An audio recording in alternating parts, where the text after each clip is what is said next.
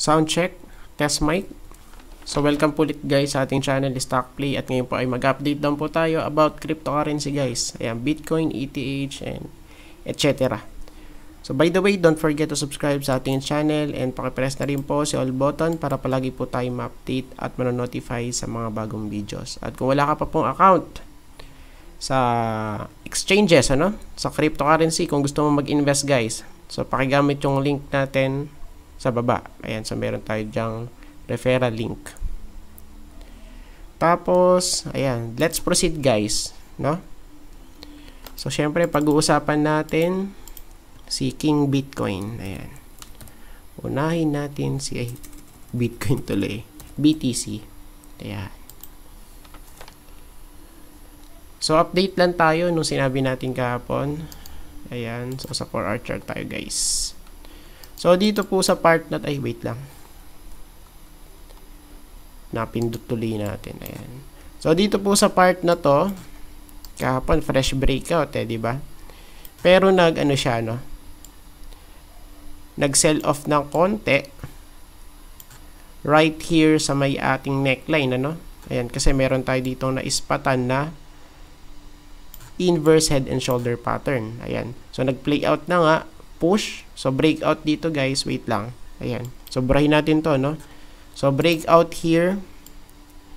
Tapos, konting sell-off. Okay. So, throwback sa ating neckline, guys. Then, push ulit papataas. No? So, right now is, uh, si BTC is nag-retest na rito, no? Sa 59,000 600, ayan. So, malapit po yan sa ating resistance. Kung papansinin natin, ano, series of touches. 1, 2, 3, 4, and ito, 5. Okay? So, sa average na to, so, pwede pa siyang mag-retest hanggang 59,800. Okay? Ayan, so medyo hindi pa nakaka, ano talaga eh. Exactly, ano? So, hindi pa siya nauuntog dun. Okay, kaya possible pa rin natataas to. Ayan, or magre-retest kumbaga, no? So, tignan natin. So, for now, good. Ayan. So, okay itong chart ni BTC, ano? And syempre, based po sa ating head and shoulder pattern, so, sukatin nga natin ulit. Ayan. So, hindi kasi, eh, ano eh, hindi po exact yung na-drawing natin kahapon. Ano. Ayan. Pero pwede na rin, guys. Ayan. So, okay na din pala yung pagkaka-drawing natin, ano. So, based dito, yung ating target is nasa 62,800, ano. Ayan. $62,800 dollars kay Bitcoin. Pero, syempre,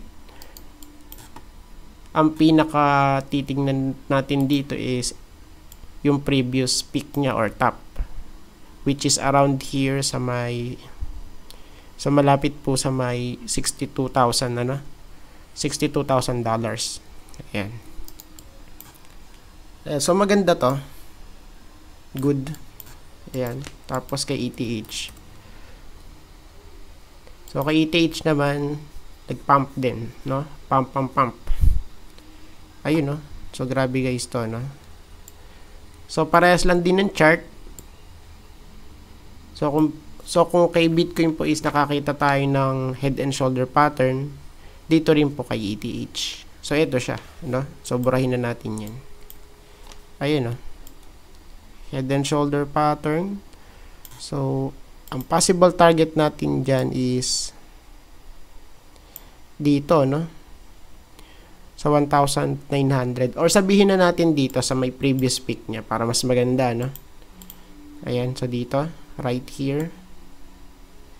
So malapit po dito sa 1,930 dollars. Ayan. So for now okay you know? Good. So maganda yung chart nila ngayon. So bullish ang market. So lahat pumipitik no? And syempre pag-usapan din po natin yung mga altcoins na wala pang price discovery. Ayan. So, pwede kayong maka-position guys. Pero, hindi po lahat i-reveal natin, ano? Ayan. So, medyo marami din sila. So, namili lang tayo. Next natin is, ito. Si Binance Coin. Excuse. So, dito kay Binance Coin is magkakaroon to na coin burn eh. So, meaning, pagka meron pong coin burn guys, syempre, ma mababawasan po yung ating ano, no? Uh, supply. Token supply. Ayan. So, right now, good, no? So, ito kasi is a, ayan, symmetrical triangle pattern. Good. Ayun, no? Diba?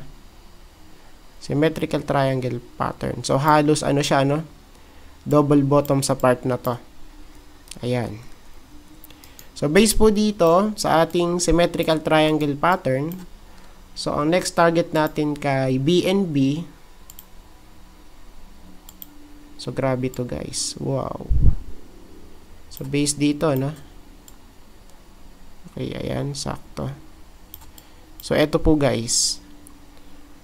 Sa 410 uh, 410 dollars. Right here guys. Ayan. Nice nice nice. Pero right now siya ay nasa resistance. Kung titignan natin. Eto si BNB ano? Siya ay nasa resistance eh. Ayan. So pasensya na po kayo at medyo nahirapan ako magsalita.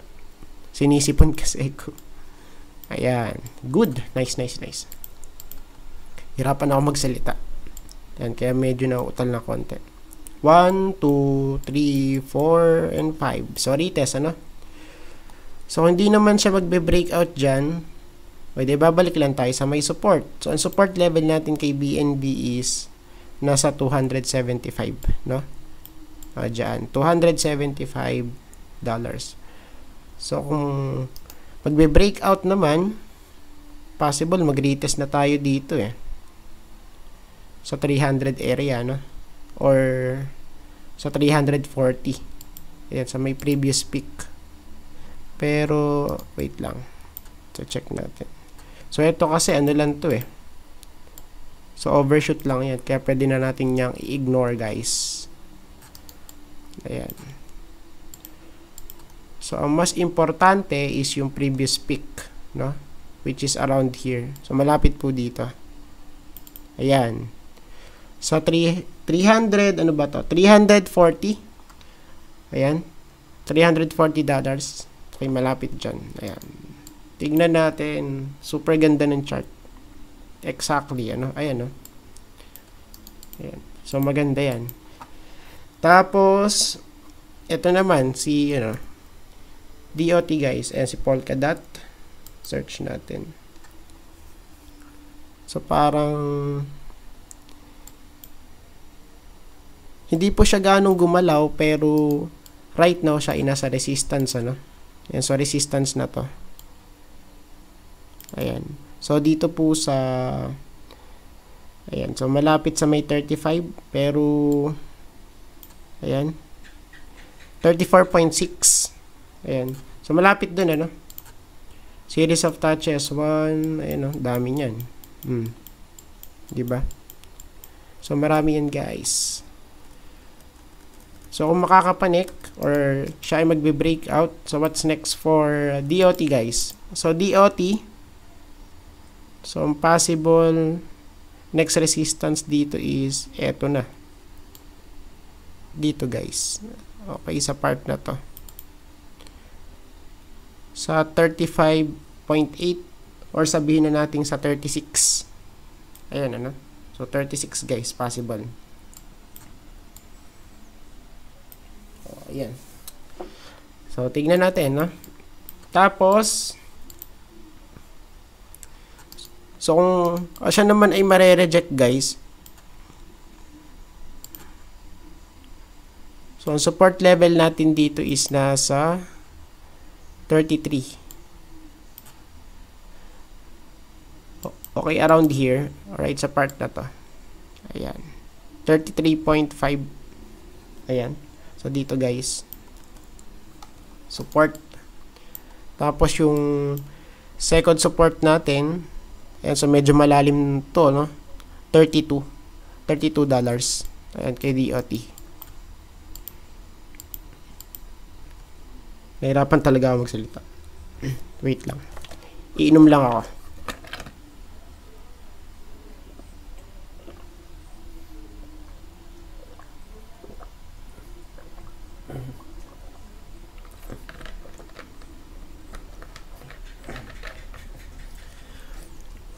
Ayan. So, let's continue.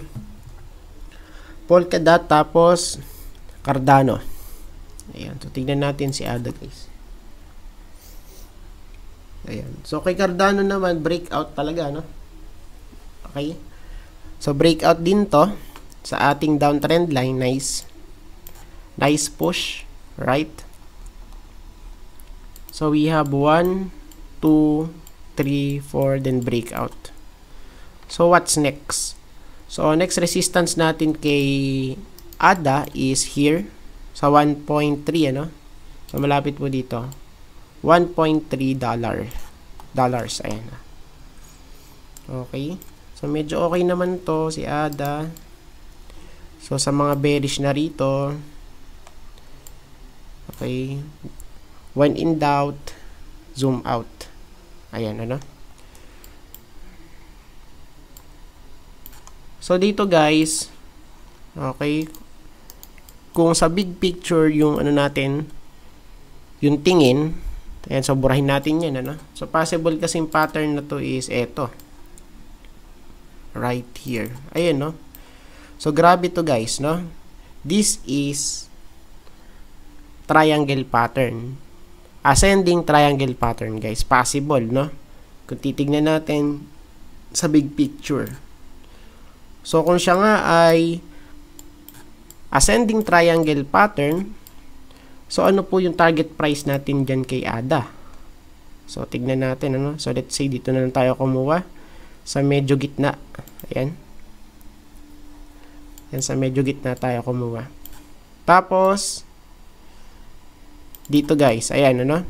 So, base po dito, ang target natin is 2. $2 guys. Ayan. So, malapit dito. Ayan. Okay. So, tignan natin, ano. So, siya ay nagpa-pop up pa lang naman eh. Pop up pa lang yan, guys. Okay. Next. Ayan. So, ito na guys yung ating mga ano, no. Mga altcoins na wala pa pong price discovery. Ayan. So, unahin natin si YF2. So, ito kasi mga favorite kong binibili, no? Pagka wala pang hype, dapat saka tayo bumili. Ayan, pagka may hype na, stay away na ron, ano? Mahirap kasing maipit, guys. Kahit sa stock market, ano? So, same lang din ako ng ginagawa. So, pagka hype na, hindi ko na po siya pinapansin, no? Ayan. So, dito guys, so I think tignan natin sa daily chart para mas okay. Ayan. So, kung papansinin natin, medyo, ano pa to, no? Medyo mababa pa guys. Still sideways pa rin to kung titignan natin. Si YFII, right? O, ayun, no? Diba? So, we have here a trend line right here. So, series of touches din yan. Pero, kung titignan natin yung previous ano niya, previous bottom, so ito guys yung previous bottom, right here. So, ilang percent yung tinaas na. Ayan. Let's say dito, no? Ayan. So, siya ay up ng 120%. Okay? So, still okay pa yan pag ganyan, ano. So, ang mahirap kasi, pagka talagang ano na, no, meron na siyang price discovery. Or yung chart is, ano na, super taas na talaga. As in vertical, guys, ano. So, dito kasi, ayan, so, siya ay nagbi-build up pa lang ng momentum, no. So, pataas ng pataas. Ayan. So, okay ito. Ayan. For me, ah, so hindi po to advice, ano? Kumbaga. So, kung ako ang bibili, so, ito po yung mga pipiliin ko, no? So, do your own research, guys. Ayan. Especially sa cryptocurrency, maraming mga ano dito, eh. Mga scam, no? Na mga altcoins. Pero ngayon, so, I think, ano, since ano tayo, bullish yung market, so, kahit siguro yung mga scammer is, hindi po basta-basta, ano yan, mawawala, no? Ayan. So, yun nga lang sa mga, ano, sa sa farming maraming mga scam din eh. Ayan. So pagka nagfa-farm kayo sa crypto ayun bigla lang nawawala yung CEO so yun po yung mahirap ano? Ayan. So next natin si BTG so eto guys si Bitcoin Gold siya po ay hard fork ni Bitcoin noong 2017 Okay? And kung papansinin natin, hindi pa po siya nakaka-experience ng bull run since din, ano? Kasi, nag-start po yung bear market kay Bitcoin uh, 2018 na, no? Mga January. Ayan. So, eto naman guys, medyo pinitik. Okay, noong 2017, ano? So, medyo pinitik, pero Ayan. So, binuhusan din, ano? Hindi po siya actually nasama sa bull run. Ayan. So, parang hinipe lang siya, kumbaga, kasi bago, no? 2017 siya na ano eh. Nakrehite, eto. Si BTG. So, right now, kung papansinin nyo, super, super baba guys, di ba? Wow, as is. Ayan. So, tingnan natin, ano? so, ang ano niya, so, ang pinaka-bottom is inabot ng, ano ba to? 253. Right here, guys, ano, 253. So, right now, siya ay up na ng ilang percent. So, from here, tapos dito, 135 halos, ayan, 135%. Pero kung bibili ka ngayon, so let's say dito ang pinaka buying price mo no? Okay around here sa may 600 so i-drag natin yung potential profit. Pero di po natin sinasabi na babalik to sa peak ha possible lang ano kung babalik ayan. So kung babalik guys sa peak so ilang percent ayan so baka malula kayo ayan So, kung babalik sa peak yan, so we have here a potential 24,554%. Okay? So, kung babalik guys. Pero, uh, so wala po siyang assurance na babalik talaga, no? So, pwede, dito,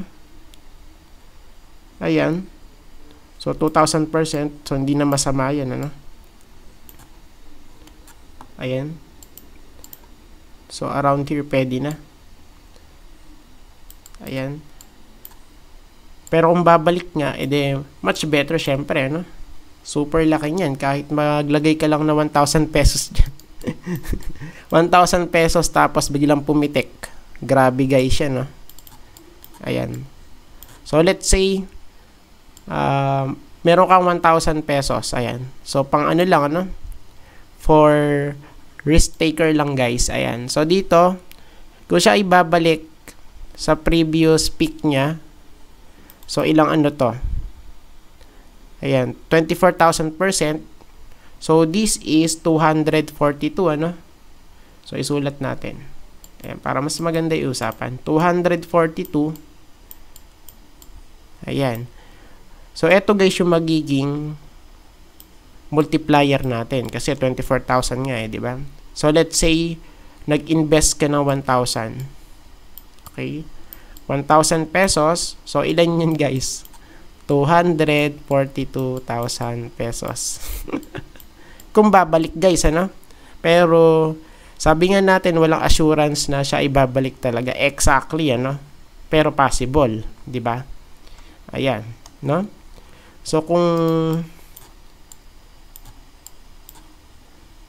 So, kung 1,000% naman, not bad kasi yung 1,000 mo is magiging 10,000 pesos. Right? Ayan. So, grabe, no? Grabe talaga rito sa cryptocurrency. Ayan. So, burahin na natin yan. Delete. So, next natin is BTG. Wait lang. Ito. Ample Fort. So, yung iba is, ano, no? Hindi ko na po sinama kasi bullish naman yung market, eh, di ba? Ayun, no? Si Metal. 200%. Si HAT. 46%. Si Axie. Oh, grabe si Axie, oh. 35%. Ayan, si OGN. 36%. Ayan, so grabe. Super bullish ng market ngayon, ano? Ayan. So, punta tayo sa Gate.io. Ayan. So, kay Gate.io guys, meron din tayo rito. Eh. So, i-search natin si AMPL ba yan? Si Amplefort. Okay. So, dito kay Amplefort guys, kung papansinin natin, full screen. Full screen. Ayan. So, full screen to guys, ano? Ayan. So, base po dito, ayan, so wala pa tong hype. Ayan. I don't like hype. Okay, pagka bumibili ko, syempre yung walang hype. Ayan, so kanina nakabili na ako dito eh. Ayan. Okay. So wala pa po itong hype guys, ano? And kung papansinin natin, para siyang, wait. Ayan, so para siyang triangle pattern, ano? O, diba? So wala pang hype yan pag ganyan. Still sideways eh. Right? Ayun, no? So, sideways pa rin yan guys na mako-consider. Sideways. Ayan. And once na magkaroon ng price discovery, so ang magiging itsura niyan is ganito. Ganyan guys ang magiging itsura niyan. Liliit yan actually, ano? Tapos, boom. Ayan. So, ganyan guys yung magiging itsura niya pagka nagkaroon ng price discovery. So, ngayon, sideways, parang si ano lang to, no? si Veracity, si VRA guys. So dati walang pumapansin talaga exactly ano kay VRA nung sideways. Super tagal nag sideways nun guys. Okay? So pag ganyan din kay AMPL, so pa sideways tapos pitik. So pumitik guys, grabe no. So ipakita natin. KuCoin, ayan. So sa KuCoin to eh. Ayan. Kaya nga guys, uh, hindi po porket na gaano ka, nagde-daily trade ka is profitable ka na, no? So halos guys, hindi naman lahat ano. Pero ang karamihan sa mga nagde-day trade is lugi, no? So kung kumita man, masaya na 10%, tapos puro lugi na, puro cut loss. Ayan. Kaya much better kung magpo-position, no? Position trading, guys. Ayan. So, yun po kasi yung technique ko. Pero, syempre, so, iba-iba tayo ng technique or strat, ano? Strategy, guys. So, ngayon, ipapakita natin si VRA. Ayan. Eto, guys. Grabe to. No? Grabe to, guys. Ayan. Wait lang pala. Ayan. Tapos, kuha tayo. Ayan. Good. Wait lang. So, hindi pa natin makikita actually yan. Eh. Ayan. So, dito guys, kay VR, eh, grabe to oh. Wow.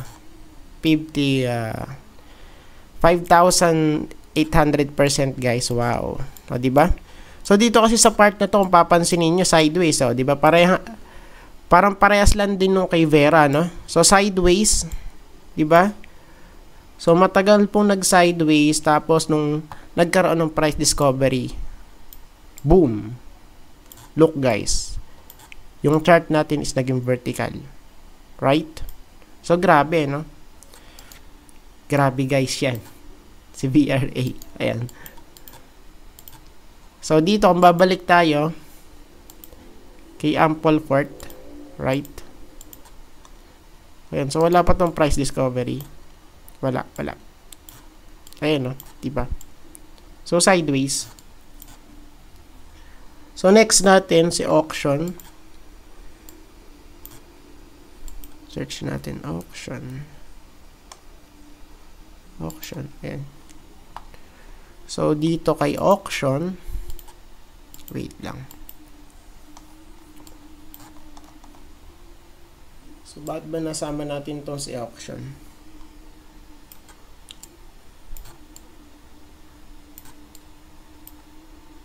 Yan, so mali ata tayo nang nakopy.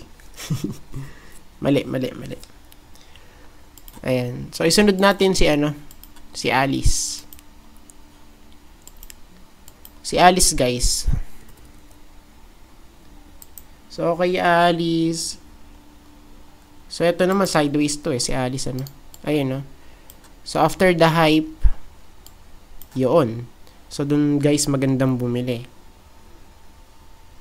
Okay, kasi dito sa part na to, since nung siya ay na-list sa Binance, wow. Explosive guys, ano? Then, syempre, sell off. Okay. So, so nawala na po ng demand. Ayan. And right now, sideways. Okay? So, this is, pwede natin gamitan to ng J-strat, ano? So, after the hype, sell up, tapos magsa-sideways, then magbi-build up ulit ng momentum, papataas. Okay? That's why, kaya po siya tinawag na J-strat. Okay? So, si J-strat is applicable po yan, ano? Based po sa aking experience, siya po ay applicable sa USDT pairs. Ayan, okay? So, after the hype, wait muna na magkaroon ng sell-off, tapos mag-sideways, then, ayun. So, pagka-sideways na, pwede na, no? Or, let's wait na magkaroon ng higher high and higher low. Ayan, para mas safe, no? So, dito, sa part na to, kay Alice, ayan, so meron na tayong ano dito eh we have here a trend line, ano? Di ba? So, burahin na natin ito. Ayan. So, we have 1, 2, 3, and 4. Okay? So, based dito, malapit na itong pumutok, guys, no? Oh, ayan, no? So, siya ay parang not exactly inverse head and shoulder pattern, pero pwede nating sabihin, right? Ayan. Wait lang. Ba't di natin makita? Ayun. So, ito si left, si head, si right shoulder, guys. Ayan. So, possible ito, no? O, ayan. So, dito, medyo wala pang price discovery kasi nga, ayan, ano? Siya ay sideways, eh. Okay, so nagbi-build up pa lang siya ng momentum. Same kay Lina, guys. So, kay Lina naman, Check natin si Lina kung lumipad. Ayun. So, oh, ayan. Pareha sila guys, ano? Lina. So, si Lina rin is, ano to? Bagong, ano to? Listed na altcoin sa Binance. O, diba? Parehas lang guys, ano? JStrat. So, after the hype, so, hype yan, eh. Boom. Tapos, sell off guys. Sell off sideways. Okay? So, this is the time na pwede natin siyang pagdiskitahan, ano? Ayan. Pagka wala guys, hype. So, once guys na magkaroon na ng price discovery yan, tataas na ulit yung price. Pataas. Okay? Kaya po tinawag na J-strat kasi mukha siyang J. No? Mukha po siyang J guys. Ayan. Pagka nagkaroon ng price discovery. No? O, ayan. So, I think tapos na po tayo sa ating update sa cryptocurrency market. So, salamat po sa panonood. See you po sa next video. Bye-bye.